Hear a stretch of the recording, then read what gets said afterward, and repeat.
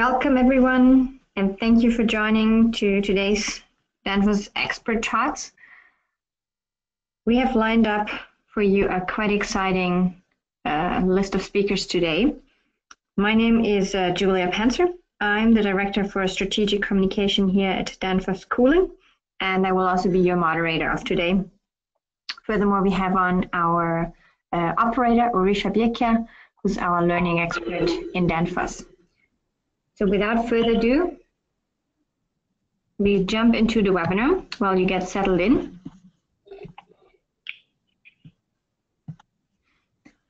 And a couple of practicalities before we get started. Uh, you are in listen only mode. So um, we also want to hear from you, of course. So please put your questions or comments into the comment box that you see on the right hand side in the GoToWebinar. That's quite important. You can raise your hand throughout the presentation and uh, we will, of course, uh, record this webinar uh, to distribute further on for your use. So what is the topic of today, actually? Um, in line with last week's World Food Day, we put together an exciting talk around food wastage. And the topic here is really looking at the role of the cold chain and how that impacts uh, the topic of food wastage. So we have a um, quite a good lineup, one from uh, the NGO perspective, but actually really looking at the progress that is done towards the Sustainable Development Goal 12.3, reducing food wastage per capita. Then we have a view of the industry actually in a country, which is India, where we have a lot of potential on the cold chain. And third, uh, we have an inf information and more deep dive on innovation in the cold chain and how we can really improve the traceability and visibility across the cold chain. For that, we have lined up for you these three speakers. Dr. Liz Goodwin, I will introduce her furthermore in a couple of minutes. She's really the thought leader, I would say, on food loss and waste. So we're quite happy that you can join us. Thank you, Liz, for that. And we have Krishna, um, our internal Danfoss colleague. He's located in India to give us this deep dive into a local country where we see a lot of potential growing the cold chain. And then we have Ian Jones joining us uh, that and from Coolit, who's giving us a more innovative digitalization approach to the cold chain. So why are we talking actually about food wastes and the cold chain? Why is this important? And as you probably know already, there is quite a bit of food that is produced, actually one third, uh, that is either lost or wasted. That means either on the way while it's transported to your supermarket or in our homes. So that's a huge environmental, economic, and safety problem for the world. So not only the UN has put that up, the Sustainable Development Goals, but also a lot of businesses have it actually already in their own uh, sustainability targets to reduce food loss and waste. But what exactly is food wastage? And here we want to just give you a quick introduction to the terminology because we see that across the board this is still used uh, differently.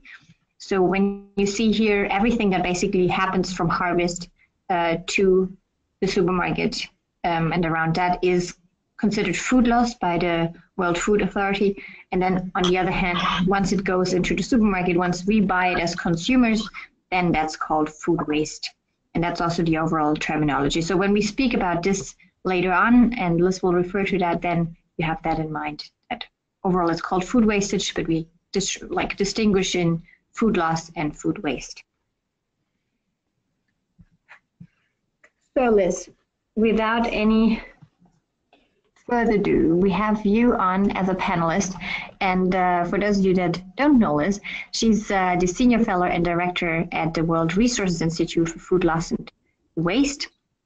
She's chairing also the London Waste and Recycling Board. And before that, uh, she's been heading the uh, Waste and Resource Action Program. So a lot of credibility, and I think very interestingly is that you have a PhD in chemistry, and, and that's also super important when we talk about the topics because it's quite complex. So the floor is yours, and you will give us a, a progress report on the SDG 12.3. Great, thank you very much, and um, hello everyone. Um, I won't say good morning because I don't know whether it's everyone's in the same time zone. Uh, there we go. So I wanted to, to update you about um, the work that we're doing um, on on food loss and waste. Um, I'm one of the champions for achieving that, um, that sustainable development goal. I'm struggling to change my slides.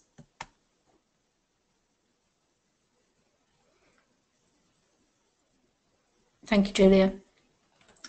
So as, as Julia has already said, um, about a third of, food, of food um, by weight is actually lost somewhere between production and um, the household. And in terms of energy content, in terms of calories and beneficial um, to the population, it's about 25%, 24%. next slide.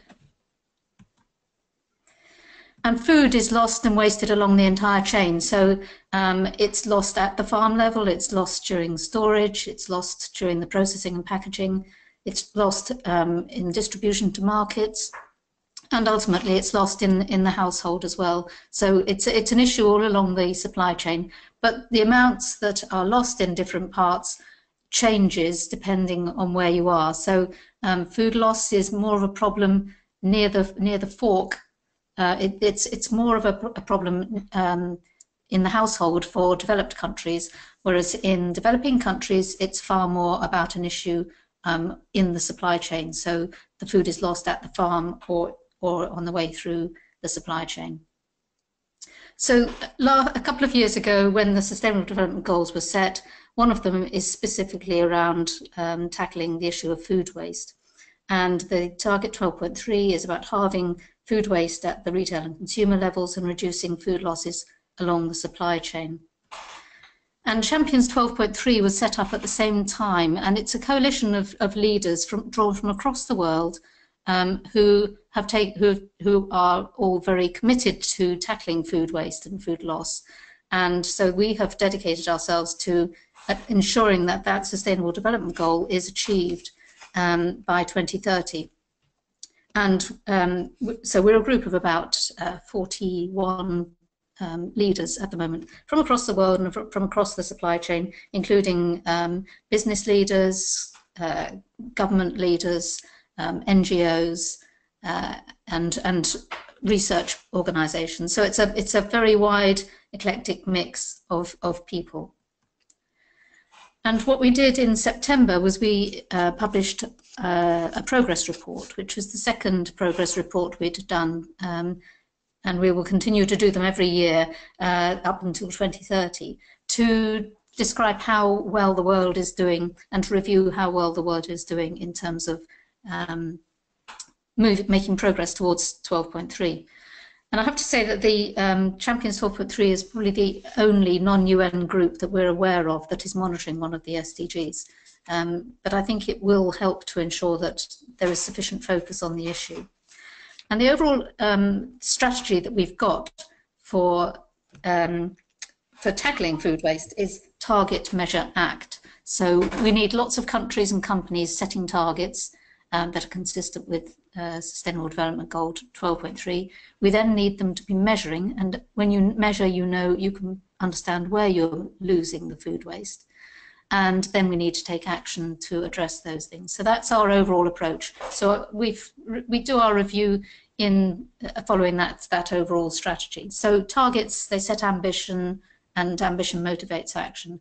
And one of the big progresses that we made in the last year is that the Global Agribusiness Alliance um, set a, a, resolution, they agreed a resolution to halve food loss in the supply chain.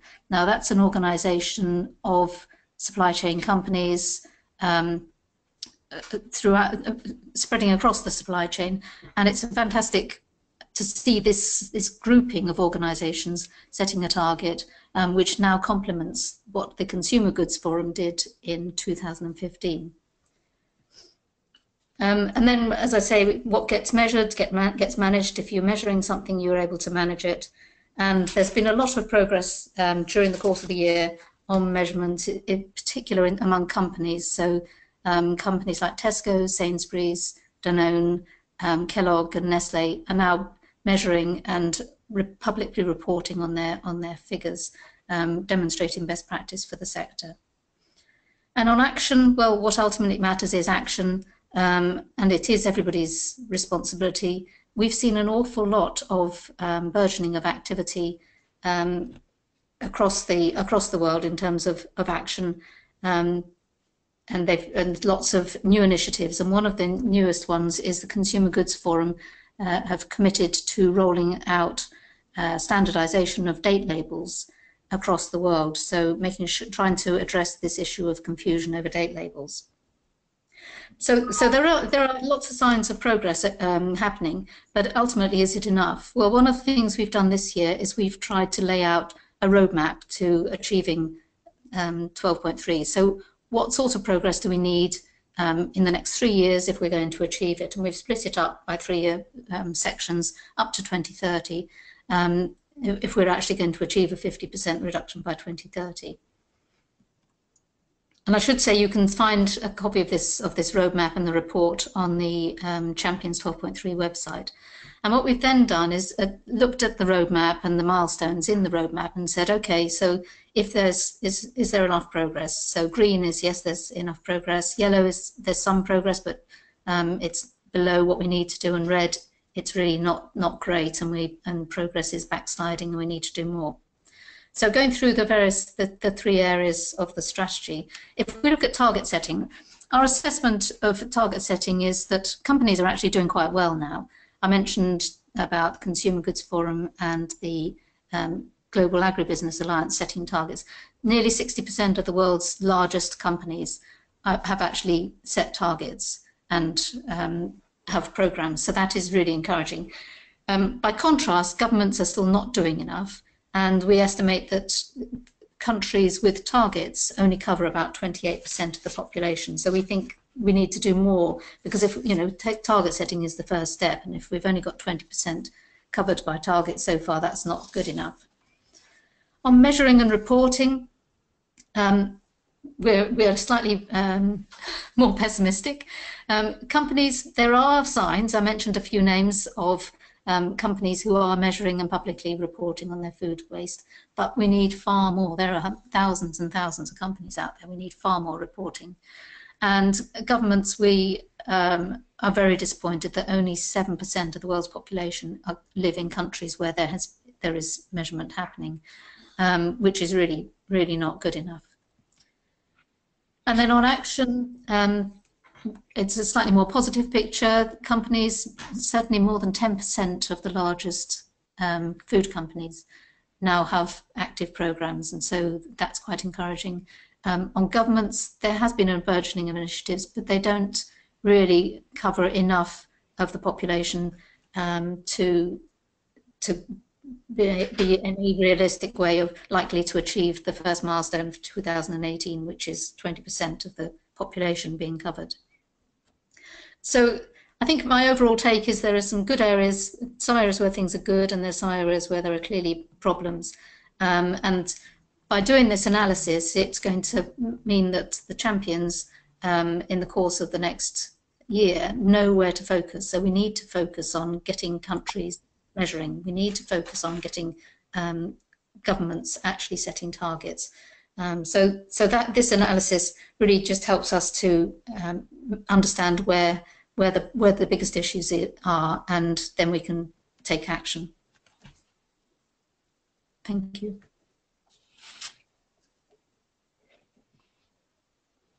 Thank you, Liz, for this introduction and overview also of the, the state of food wastage, I would call it.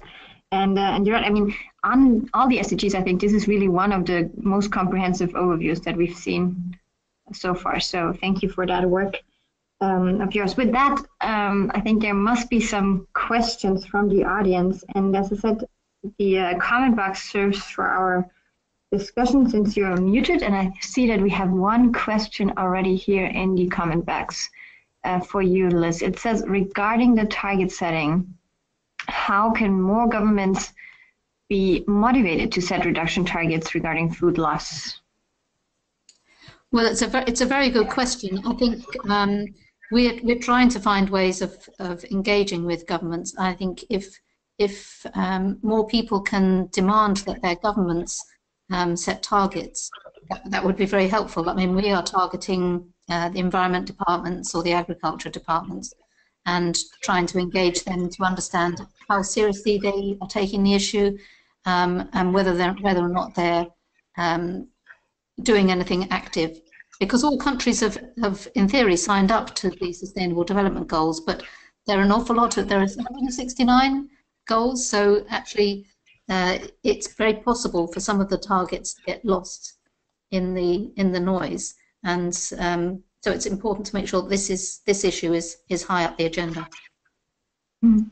And, and do you see that there's like a difference in between food waste and food loss and how governments approach these two topics? Um, is there are, are these two are the differences clear enough, and is there the right focus on both loss and waste? Um, I think it's patchy. I think in some places, you know, certainly in in the developing developed countries, so Europe um, and uh, um, the UK and the USA, but also increasingly in cities in developing countries, um, you're seeing you're seeing quite a lot of focus on household food waste, um, and I think people can see a um, a benefit to the householder from reducing the food waste, uh, financial one if nothing else. I think there's the issues in developing countries are far more fragmented, um, and that's more difficult to to know what the right solutions are and how you make the right right interventions. Mm. Yeah, definitely. There's a, a, second question Liz here, and this is let me quickly read it out here. How will it be possible to get more transparency uh, from governments and to compare actually the food wastage uh, happening? So I uh, kind of I imagine this question is targeted to uh, is there a baseline? Can we actually compare country by country or city by city um, on food waste and loss? Um, I think there are there are signs of some of that happening. Um, the, Euro the European Union is working on a um, a reporting platform which will allow all the member countries of the European Union to have visibility of what what the wastage is like in their in their member countries. So there'll be some benchmarking um, I think the publication of um, results by some of the uh, retailers, including their supply chains, is also going to provide some sort of benchmarking.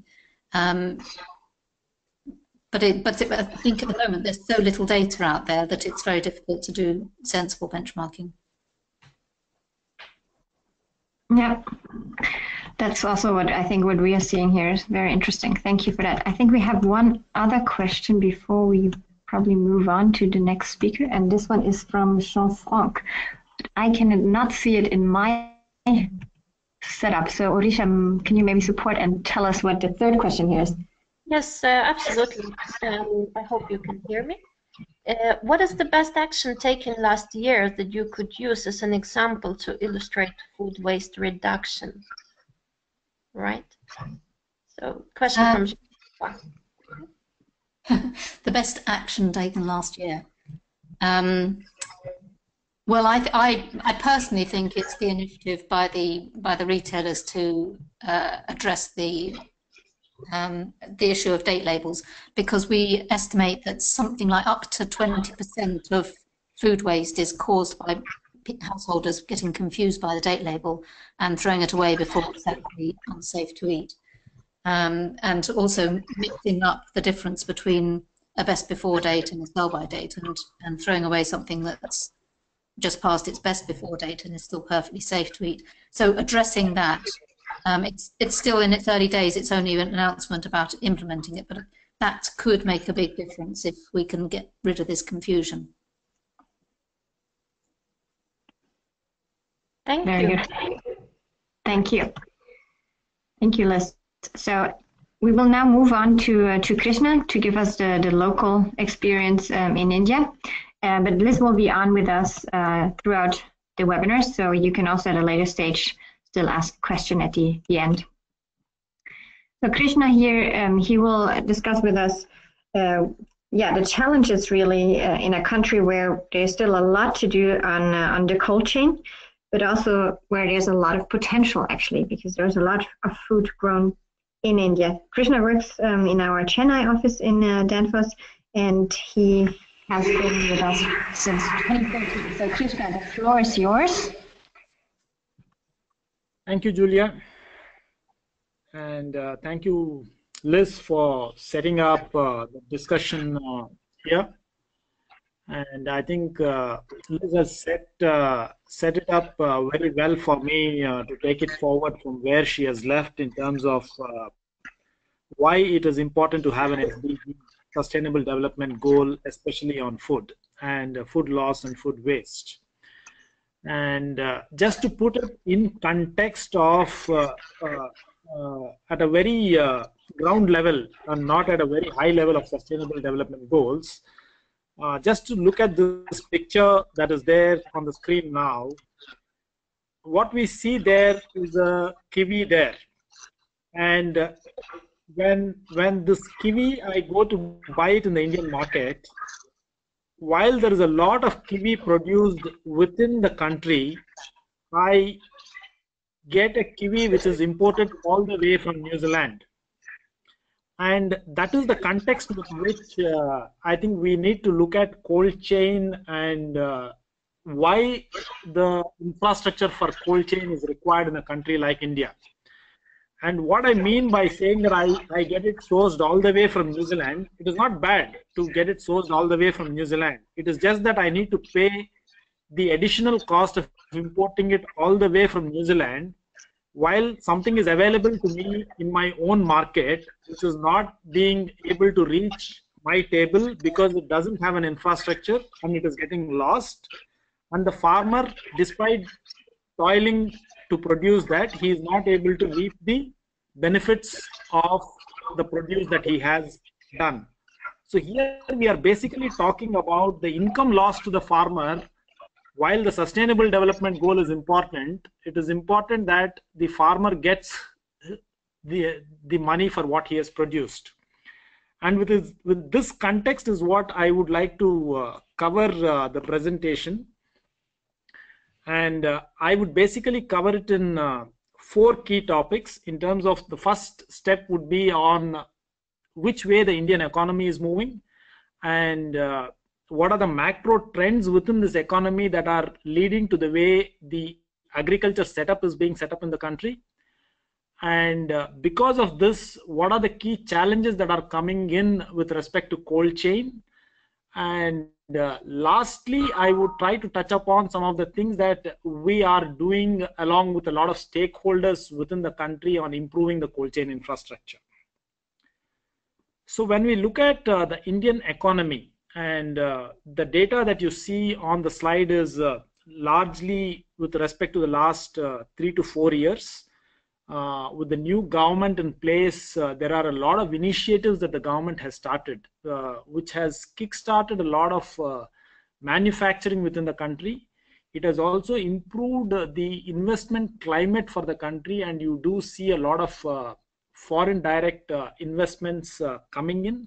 So clearly, there is a lot of push for reforms, and we clearly see that there is an uptake in terms of the capex that is coming into the country and uh, there is improvement in terms of the numbers uh, whether it is gdp or uh, gvp that we talk about. And what does uh, this mean uh, to the agriculture setup within the country? And when we have to look at this it uh, within the agriculture setup we we can look at it a little beyond the last three years. And when when we look at it probably over the last two decades when the liberalization has uh, set up in the country you have seen that there is a lot of urbanization that has taken place within the country and more and more people have moved into urban cities. And the disposable income of the population has also increased because of various things that have happened which are which are which are good for the country in terms of liberalization. There are more jobs that have come in. And uh, there is there is obviously a higher uh, strata that the people have moved in and their food habits have changed. And what we have seen over the last few years is that the food habits have changed because uh, of the disposable income and that people want to move towards a protein rich diet which means that they are looking for more milk based uh, food, more uh, egg based uh, items, more processed based uh, foods, meat based items, and this this has increased. And uh, and we we do see that this trend is going to increase as we increase the urbanization levels in the country and as the country moves up the path of uh, development. So what has what does this entail? So this what this has entailed is that we have seen a growth in terms of the retail sector that there is more organized retail that is coming into the country. We have seen a growth in the processed food category. We have seen that farmers are increasingly moving towards horticulture crops because that is where they are seeing that there is more demand. We have clearly seen that there are more and more government initiatives that are coming in towards enabling these kind of infrastructure setups. So, so if all this is being set up, does this mean that we are able to meet the supply or we know what exactly the demand is? The most recent uh, study indicates that uh, in terms of uh, Indian rupee numbers, close to 92,000 crore worth of food loss happens. This, this also includes some amount of waste, and that is a substantial amount that we are talking about. And if, if we are going to continue this trend, because what we do see as uh, it's not moving to the next slide.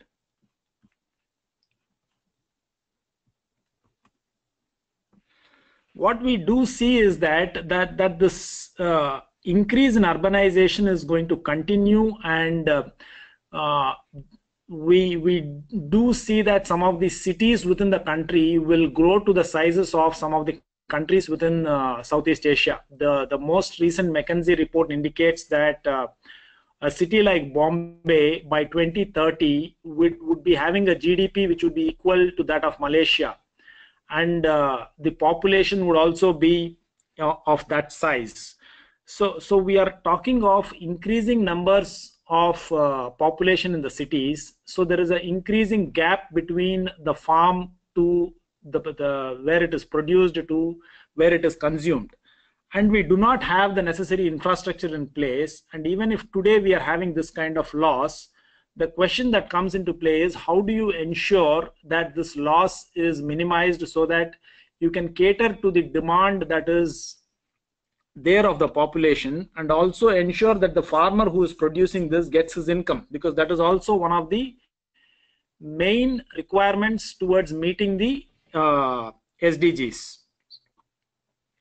So when we when we look at what what is it that the government is doing towards ensuring that this is put in place? Is, is the government taking necessary steps?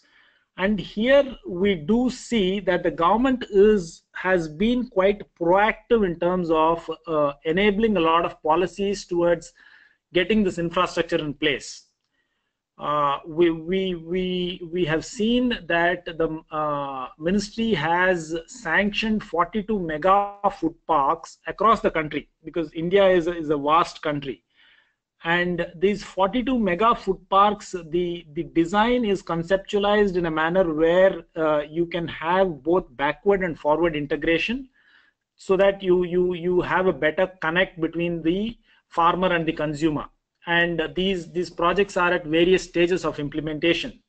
At the same time over the last uh, three years there are a lot of cold chain projects uh, worth about 7.5 million metric tons that have been established by uh, the ministry of agriculture the uh, uh, government has also enabled uh, investments uh, and brought in 100% uh, FDI to enable uh, the retailers to set up infrastructure. They have also amended policies so that retailers can directly purchase from farmers. And within the Make in India initiative of this government, they have made food processing a priority sector. And the priority sector is a term that uh, is used uh, especially from a financing angle because with, with that terminology, banks will lend uh, uh, at a uh, concessional rate for setting up these food processing facilities. So there is a lot of work that uh, the government is doing in terms of enabling policies, and and we do see significant investments coming in. But uh, having been uh, working uh, within this environment, while we do see that there is a lo lot of proactive measures that are uh, being undertaken by uh, the um, government and a lot of stakeholders, there are quite a few challenges that we see within the environment that uh, uh, is there within the country. And these challenges are not unique to india. They are they are, they are mostly they will be the same in terms of uh, uh, the infrastructure that is available uh, in india. And these these challenges are different when you look at it from different sectors because cold chain would be required uh, for uh, dairy, cold chain would be required for fisheries, cold chain would be required for fruits and vegetables. And when you look at it from this angle, the challenges that a farmer who is dealing with dairy uh, would be different to the challenges that uh, what a farmer in fruits and vegetables would be dealing. But the challenges would be common in terms of that both of them would be looking for people who have the skill sets to help them in getting this uh, things uh, done. But when we look at skill sets the skill sets that would be required for let's say sorting grading packing the fruits and vegetables against something that is required to do at a farm level for for a shrimp farming to something that is required to ensure that somebody takes the milk and puts it in a bulk milk cooler and uh, takes it across to ensure that it is done in the right way are different. And this is an area where we see that there is a lot of shortage of this kind of skilled manpower. And at the same time we also see that educational institutions are generally covering an area on broadly on refrigeration but there is no specific uh, uh, subjects that are being taught even in agriculture universities on how cold chain is important for farmers because most of these agricultural graduates are the ones who are supporting farmers as we move forward. Now the other challenge, the second challenge that we do see is the standards and protocols that are required because the when the cold chain infrastructure is being set up there, there is no set uh, standards that have been established in terms of what is the temperature that is required, what is the humidity levels that are required for a particular fruit or a particular vegetable to move from the farm to the retail store. And these are different because you, you, you just can't bring them from a developed country and adapt them to the, and copy them uh, here in this country because the temperatures that are available in Europe are very different to the temperature zones that are available in India. So you need to develop them here, and that is something that needs to be worked along with universities and uh, research establishments. And there is a lot of standardization that is required in terms of setting up the infrastructure because most of these infrastructure that is set up at uh, these rural places does not have any set standards that they follow. They take the most local uh, contractor available and set up the infrastructure. So there is not exact standardization that is followed which lead to some accidents even sometimes uh, causing uh, uh, uh accidents. And that leads to the policies where wherein there have been some state governments which have said not to use ammonia. Whereas if the right standardizations are available, it could enable them to have the right kind of refrigerants and the right kind of technology to be used, leading to the right SDGs in place. And the last challenge that comes in is innovation. Because there are a lot of technologies that are available because cold chain infrastructure as such has been already established in countries like Europe and, and a lot of other uh, developed uh, nations. But we need to see how to adapt these technologies into a country uh, like uh, India, and this is where uh, reverse innovation uh, comes into play. And uh, when we look at uh, this challenges, and we we what we have done is tried to engage on these challenges within the government and the stakeholders and what you see in the slide is there are basically one is the government bodies and within the government bodies there are multiple stakeholders involved the state the state government the central government within the central government the food processing ministry the agriculture ministry the fisheries ministry the dairy ministry. Then you have the farmer producer organizations then there is the research institutions you have the industry bodies and you have the technology producers so so uh, if you want to work in this particular aspect of how to improve this infrastructure there are multiple stakeholders involved. And the most important stakeholder is the farmer who is lying in a farm not exactly knowing how to do this.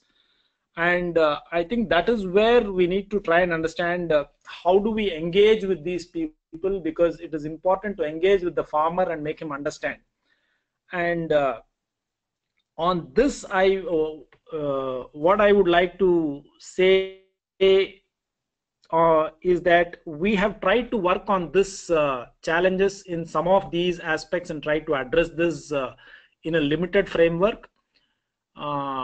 What we have done is uh, with uh, industry bodies like uh, CII and along with a few other stakeholders within the industry, we have worked uh, specifically with uh, farmers in Tamil Nadu on uh, banana and we have had quite a good success rate here where we have been able to get these farmers together and have been able to triple their income at the farm level over a period of uh, six to seven years.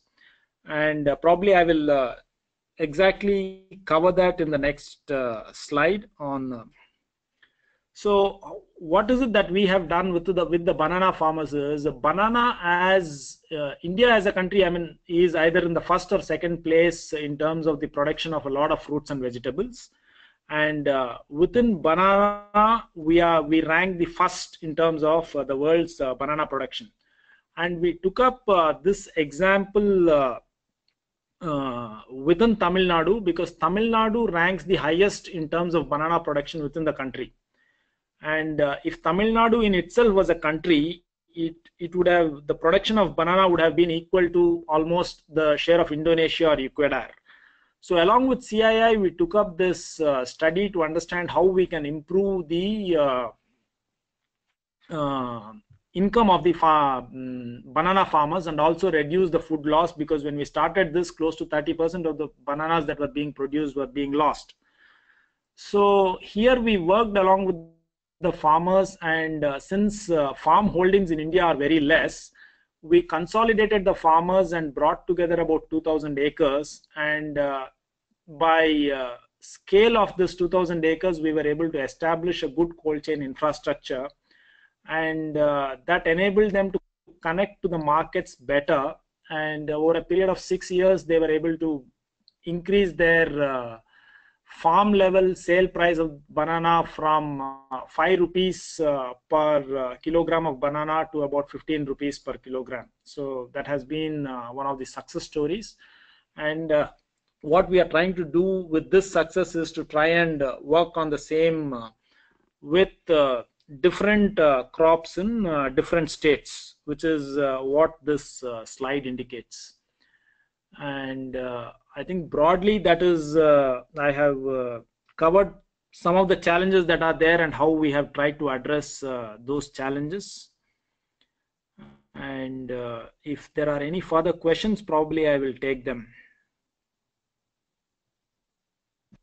Thank you, thank you, thank you, Krishna, for this really in-depth uh, of course, under the Indian market and the challenges, but also the solutions that are already possible there. And can I just ask you, because I remember I think India is the second largest food producer in the world, but still imports food, right? Yeah, that is right. And I think that's where I started with saying that we import the kiwi despite producing it in India.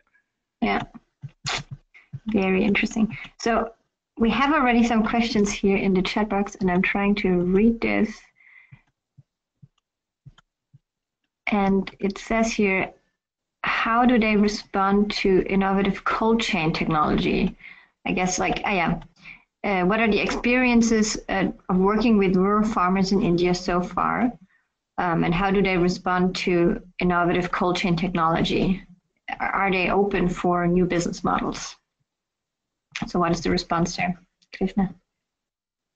Yeah, see, uh, it depends on uh, which uh, part of the country we are talking about and uh, which sector we are talking about. Because in some parts of the country, uh, let's say Gujarat and dairy, the, the technology that is adopted is quite advanced. And uh, within the same sector, when you go to some other part of the country, uh, you, you don't even, the milk that is uh, used there is, uh, it, it, doesn't go through any cold chain. So, so it depends uh, what we are talking about and what level the farm farmers are there at that particular place. So it depends on really like the industry, so what kind of crops it is, and then also which area in the country.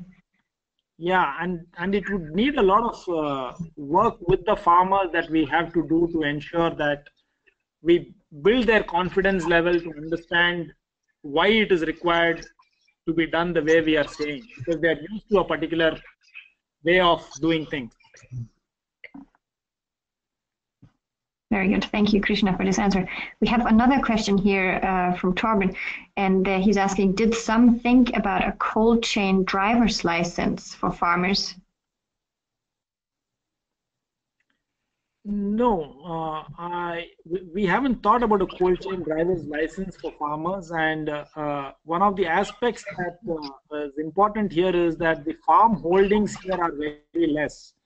So the, the farmers are holding about one to two hectares of land. So the person who is actually uh, establishing the cold storage or the one who's running the reefer trucks is very different to the one who is actually producing it. So it's a different model that will apply here as against what is applied in developed countries. All right. Well, thank you, Krishna. I think that leads us really well over to the next part of the uh, webinar, where we talk a little bit more about the, the supply chain as such, or the cold chain. So not so much about how can we actually help farmers to get more of produce to the markets, uh, which we have focused on here, but more, okay, what can we do throughout the cold chain to actually get more traceability? And, and that ties maybe also to the comment here from Torm on the, the driver's license um, question. Thank you, Krishna, again. And of course, Krishna will also stay on until the end of the, the presentations. So if there are any other questions coming up, you're most welcome to ask them. So now we move on to uh, Ian Jones, and he's um, introducing us to the innovation part of the cold chain, I would call it. He um, is actually sales director for, for Coolit, a solution that he will introduce uh, shortly that tracks across the, um, the cold chain. And that's maybe a little bit of view into into the future, really. So what can be done? So with that, Ian, the floor is yours. I will give you the presenter rights, and you can kick us off. Thank you. Thank you very much, Julia. Uh, well, good day to you all. Um, really, just over the uh, the next 10 minutes, uh, I'd like to talk to you about how we can establish really a sustainable cold chain and the opportunity available to us uh, to gain a greater transparency and trans uh, traceability around temperature and the value that this can create in improving shelf life and reduce, reducing food wastage. Uh, as you'll see from the previous slides, that roughly 12% uh, of food waste can occur through the distribution and retail channel. And there are multiple causes that can impact this figure, such as in inaccurate forecasting, improper storage facilities, or general management of perishable goods. But one of the main contributions really comes from improper temperature control. Now, it's been mentioned through the webinar that one third of all food is wasted, uh, and the impact that this has on our environment is significant. Food wastage creates 8% of the greenhouse gas emissions. It consumes one quarter of all water used by agriculture, and it has a significant economic impact of roughly $940 billion. Now, technology can play its part by developing solutions that can monitor, manage, and take action if and when temperature creates a risk to food safety and in turn waste. But for technology to address these issues, we also need to um, tackle the challenges that the uh, cold chain faces today. Now, some of these key challenges are, of course, food waste. Uh, we've spoken on food waste, the visibility into where, when and why food waste occurs requires a greater holistic approach. Data records are required for legislation and some, and some cases law. Uh, and for example, France has led the way by introducing a ban on the retail market above 400 meters squared, sending food to land waste. And if that's breached, breached then fines are, are applied. And then Italy last year introduced tax incentives for food waste donations. There's also the complexity, and complexity overshadows the cold chain due to the large number of stakeholders involved in the manufacture, distribution, and sale of perishable products. And a product can change hands multiple times before it reaches its retail shelf. And at each stage, there's a risk to maintaining temperature. With, with traceability, when when risks arise to food safety and a product needs to be recalled, then speed of action in tracing that product is a necessity. Uh, and also consumers are becoming more conscious and driving the need uh, to become more aware of the provenance and the sustainability of the grower and the supplier of the food they buy, we buy. And then there's a shelf life. Shelf life has a significant impact on food waste, but also benefits the consumer in increasing food quality. Uh, but in turn, it influences our decision when choosing a brand or a store and a product. And the other most important point is the ecosystem. Uh, and that's last but not least because having a temperature ecosystem is uh, is a difficulty, and legacy equipment means that multiple hardware manufacturers and software platforms are in use, which adds to the complexity of the whole, whole cold chain. And there's a need to engineer an environment which enables collaboration, creates transparency and traceability. You'll see here there are many different stakeholders involved everywhere from ag agriculture through to the point of sale. And it's not unusual really to see each party working and collecting information within a silo. And that creates the, the challenges in gaining transparency and traceability. But, but really what if digitalization could allow us to really predict where food loss will occur or where food safety was breached where it could reduce energy by optimizing temperature before a product reaches the retail store, saving costs, or determine the energy consumption of the complete cold chain and set emission targets creating sustainability.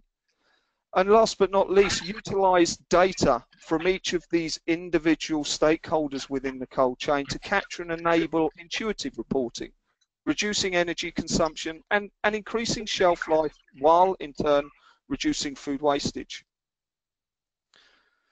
Now, in enabling transparency, the role of digital IoT solutions to monitor temperature are available today in different forms. Uh, you have from the very simplistic color change labels, you have LED indicators, RFID tags, which are used on pallets and boxes, uh, to real-time data loggers. And there are innovations coming through the pipeline now, like biodegradable food sensors that will be available in the future.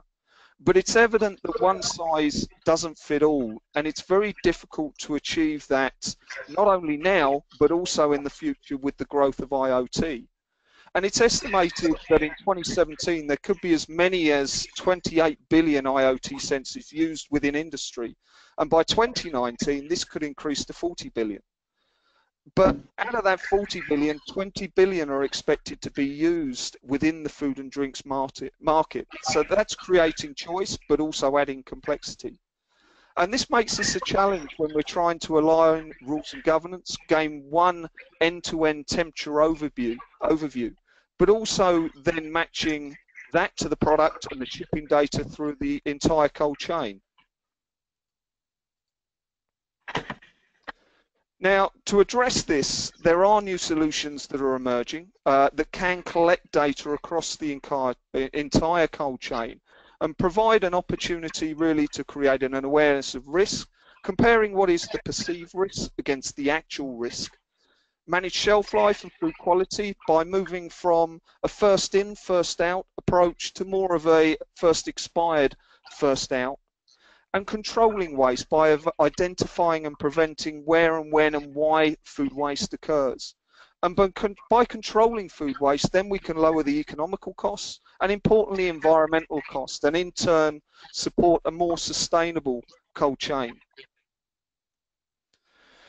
Now the benefits of implementing a holistic record of the real-time temperature journey are one record of events allows you to monitor where the produce is at at any point in time uh, to resolve incidents when they actually do occur if you're retrieving information in real time.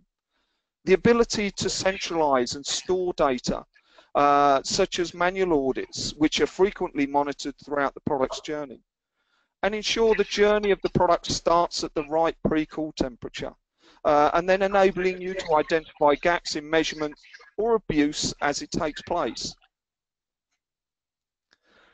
Now the ability to capture product data along the temperature data as well as temperature data can bring tremendous value in relation to traceability within the cold chain. Creating traceability in relation to a pro product's provenance, uh, using data gathered to gauge the impact on produce shelf life to manage produce which expires first, moving to first expired, first out. And product data can allow you to quickly identify its origin, but also to know, uh, allow you to identify its location for recall. And provided data provides evidence that uh, can be used for hazard reporting, uh, and also to calculate how much food has been lost due to improper storage um, and, as we mentioned earlier, benchmarking.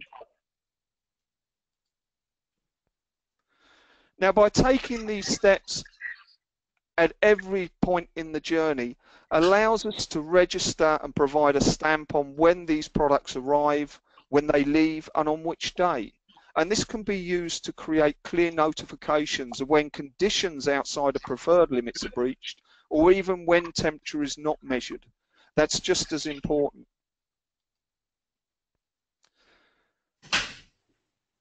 So we've seen that cost on food wastage has a significant impact, 940 billion US dollars.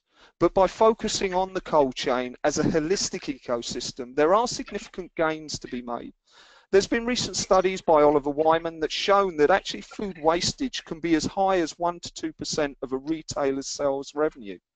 And by improving shelf life of a product by just one day can actually reduce food waste by as much as 40% and we spoke on consumers. Uh, they've also, in their in their market studies, found that 70% of consumers spend one third more on their produce when they shop if they're happy with the quality of the goods from the store. And companies that have a concern on investment costs, then the latest research by Champions 12.3 has, has identified that for every pound invested in reducing food waste, there's a 14 pound return. So the question we come back to is, can we manage what we don't measure?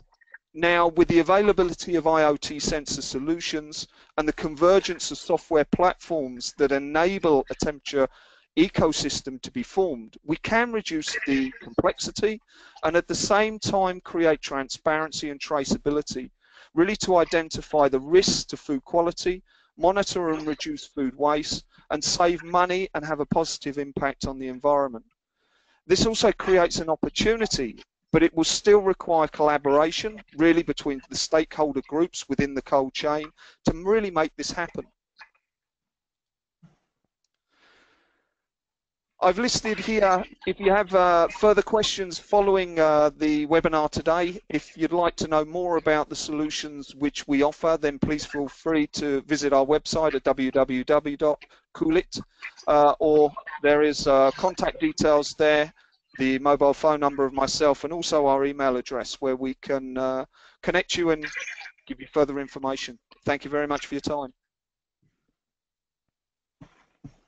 Thank you, Ian, for this very inspiring insight into maybe not so much the future, but already today.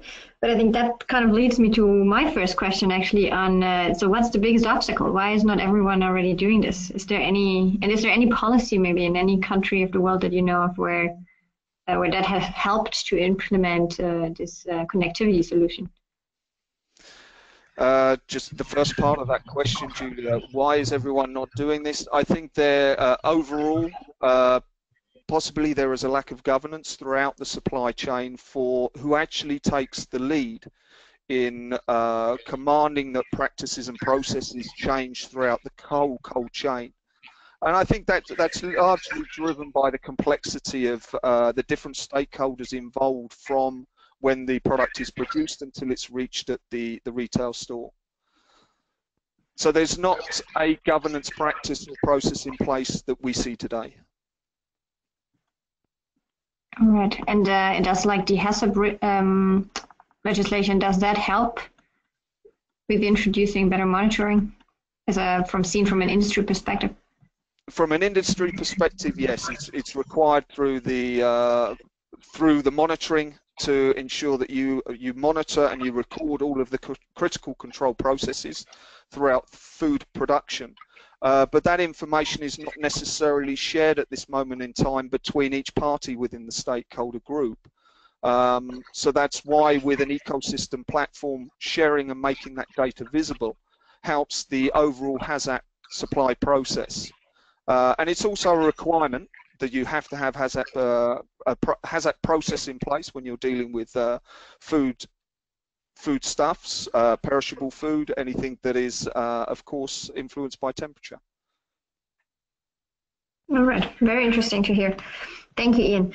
So the floor now is open again to everyone. Um, submit your questions and of course uh, to Ian, but also to the other uh, panelists. And uh, I also uh, encourage you in between the panelists, if you have a question to one or the other, feel free to um, unmute yourself and just ask that question. In the meantime, while you all think about your questions, I have one here from Kathleen Wagner, and she actually asked that, if I am not mistaken, to, to Krishna. Uh, and it reads as follows Is it only a problem of the cold chain that many people do not have enough food to eat? How can we impact a better balance? Well, that's that's that's that's a tough question. it's it, see, it's just not the cold chain that uh, that is impacting the entire uh, food spectrum and uh, why food is not available to everyone. But uh, what cold chain would do is that uh, it would uh, ensure that the farmer gets a higher income because he is currently losing between 10 20 or 30 percent of his uh, food that he is producing. And uh, the parallel effect of that is that so much less is available in the market uh, so there is while there is demand for the produce because uh, there is lesser produce available the consumer is paying a higher price. So in effect with the cold chain infrastructure you can increase the income of the farmer and reduce the price at the consumer level. Thank you. So indirectly, yes, there is a um, like a positive societal also benefit then from the cold chain as such. Thank you, yeah. Krishna. Already we have the second question here for um, Ian. And there's, uh, it's from Mark Menser, our colleague in the US. He's asking, please give us a sense of where we are likely to see first successes of COOLIT. Well, we're, we're currently uh, piloting COOLIT in Europe at this moment in time. Um, we're working uh, very closely with the supply, full cold chain from the producer, transportation and retailer. Um, and I think there are certainly opportunities now within the United States with the Food Safety Modernization Act uh, and the emphasis around ensuring um, transparency in temperature throughout the transportation of uh, human and animal food. So I think uh, both of those regions are where we're probably likely to see uh, the implementation of, of COOLIT first. Thank you, Ian. Are there any other questions? If not, I don't see any more, at least in our comment box.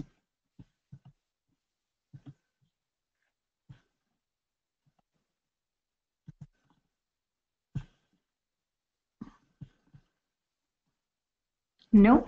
If not, then I would invite you. First of all, thank you for joining the expert talk and thank you to uh, all three panelists for these excellent insights. On this slide, you see that uh, you can download, of course, on the Champions uh, 123 uh, website, you can download the 2016 report list, I think, which is also really good and gives a good introduction on the magnitude of uh, food wastage. And then there's also the progress report for this year. And then if you can see on this slide, um, yeah, get engaged and stay in contact via Twitter um, or internally on Chatter. Twitter, I think we have uh, Liz Goodwin, WRI Food. Uh, we have um, Krishna also on Twitter. So feel free to get in contact with us, have a conversation, and uh, I look forward to maybe next year's report, uh, Liz. Hope there's some progress then. Thank you, everyone.